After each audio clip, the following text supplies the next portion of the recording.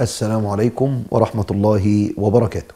الحمد لله رب العالمين وأعوذ بالله السميع العليم من الشيطان الرجيم. بسم الله الرحمن الرحيم. بسم الله الرحمن الرحيم. خير الأسماء. بسم الله رب الأرض والسماء. بسم الله الذي لا يضر مع اسمه داء. بسم الله الذي لا يضر مع اسمه شيء في الأرض ولا في السماء وهو السميع العليم. ودائما صل على الحبيب. قلبك يطيب. برنامج رحمة للعالمين.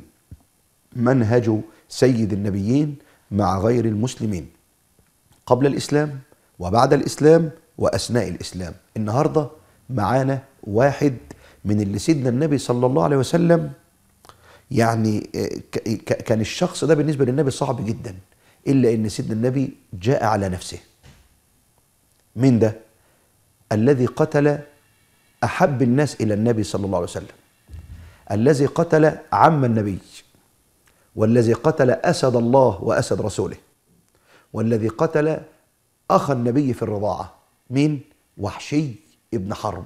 وحشي ابن حرب كان عبد لراجل مشرك اسمه جبير ابن مطعم ابن عدي ففي غزوة بدر قتل إيه، قتل أخوه آه، طعيمة ابن المطعم ابن عدي أخو جبير.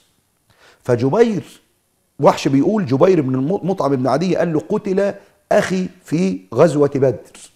لئن قتلت وقتله حمزة عم محمد إن قتلت حمزة فأنت معتوق.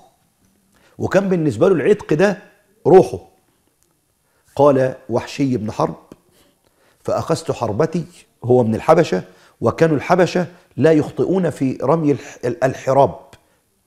عندهم مهارة. قال ودخلنا في غزوة أحد وما لي مأرب إلا حمزة. فنظرت إليه فكان كالجمل الأورق. يا حبيبي أسد الله جمل أر- أروق. اسمع بقى يعني يعني طويل جدا وقوي جدا وبنيته شديدة جدا. اسمع بقى وحش بيقول إيه؟ يهد الناس هدا ويهز الناس هزا.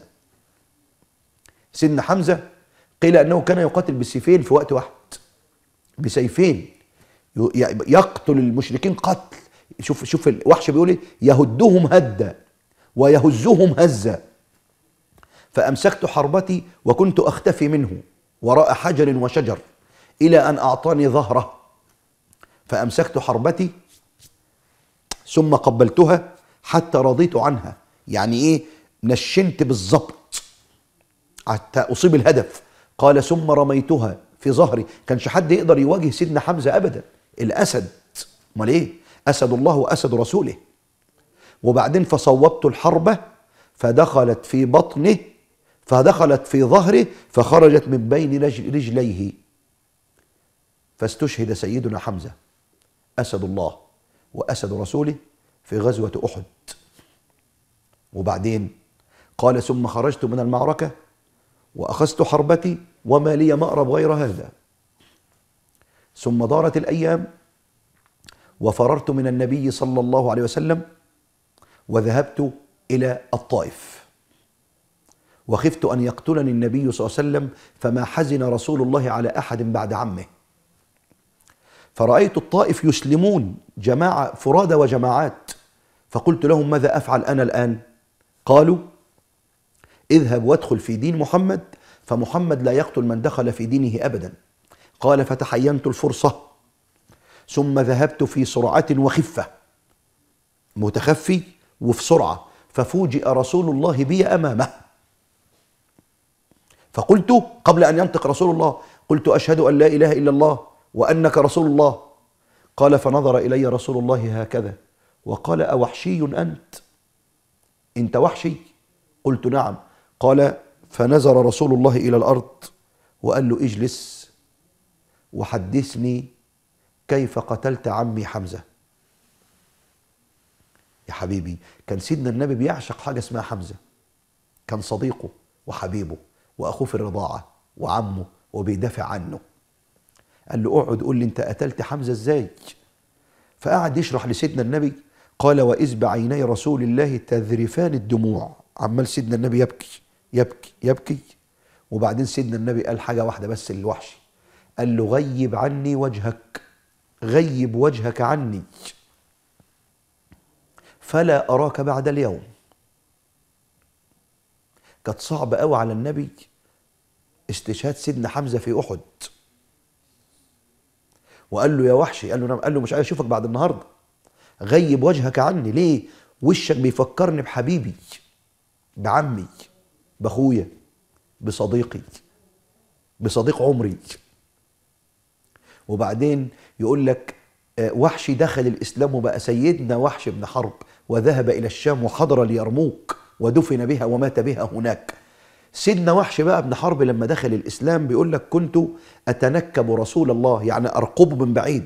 فإذا قابلني في طريق خلفت أنا الطريق الآخر.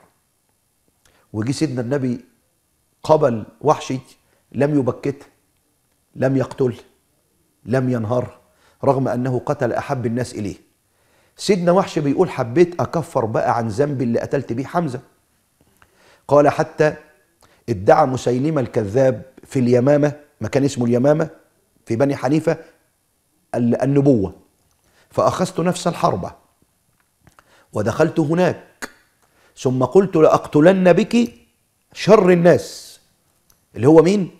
مسيلمة الكذاب الذي ادعى النبوة. قال فصوبتها ثم قتلت مسيلمة ثم أخذت الحرب وقبلتها. وقلت الحمد لله يا رب أنا قتلت بها خير الناس حمزة عم نبيك.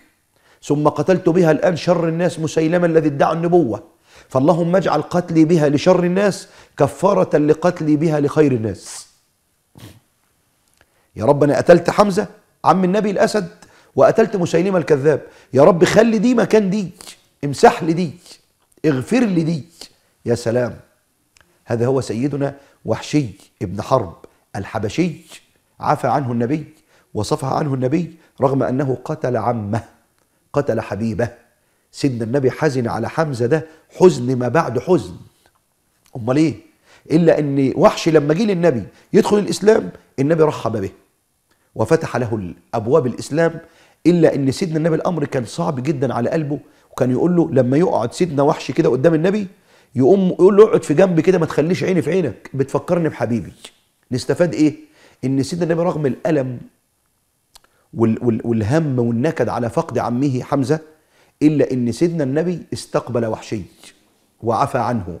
إلا إن قلب النبي رغم ال- ال- الم- ال- ال- ال- المضاضه اللي في اللي في قلب النبي إلا إن النبي قال له نحي عنا عني وجهك فلا أراك بعد اليوم. وسيدنا وحش مركز قال له أقتل بها مسيلمة لعل الله يغفر بها قتلي لحمزة عم النبي صلى الله عليه وسلم.